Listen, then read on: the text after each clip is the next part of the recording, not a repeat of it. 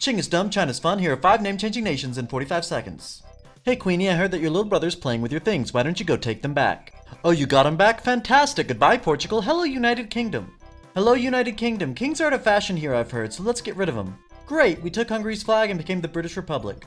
Speaking of the Republic that never wanted a king, let's give them a king. And there you go, Rome is back and they got what they never wanted. Russia here is looking all green and weird. We need some good old-fashioned red communism. Nope, you still green? Don't want to do red? Ah, there's the red.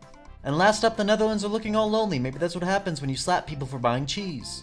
But take over Belgium and Luxembourg, and the United Netherlands can make friends with ease. I hope you liked that video, my big bad baby boy. Subscribe to the channel, or my mom said I'm not allowed to play with you anymore.